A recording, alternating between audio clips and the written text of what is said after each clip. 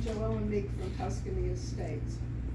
Um, I'd like to thank Mr. Maple and a few of the other supervisors for helping us trying to get our, our developer, Quaker Engineering, to live up to his development agreement with the township concerning our infrastructure, our lighting, our roads, and our sewers.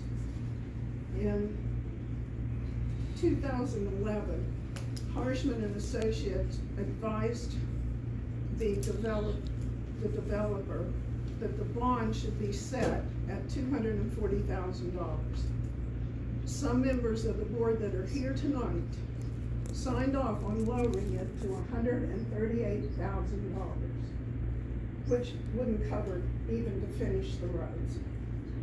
State law dictates that the developer has to agree to complete stages of the development by certain, certain time limits set by the township.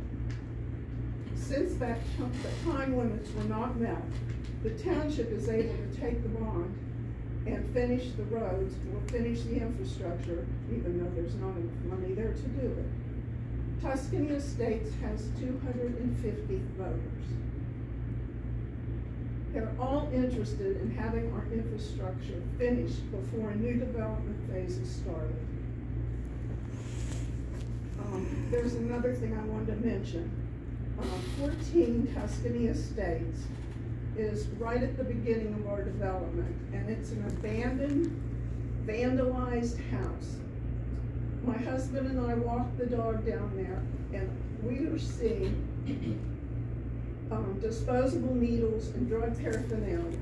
We think the house is being used by drug addicts, and we need something done about it. The house is owned by Quaker Engineering, and I know we've, we've put in the paperwork to have something done, but something needs done right away. Uh, that's it, thank you. One second.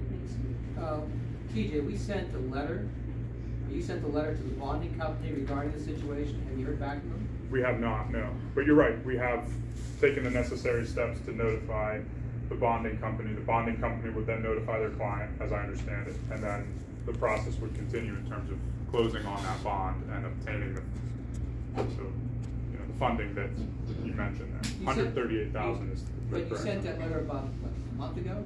Yeah, it was sometime in May, Dennis. I don't have the date in front of me. May twenty-second. May May 20 twenty-second? So it's Thanks, about, Pete. about a month. There's no response at all. What happens,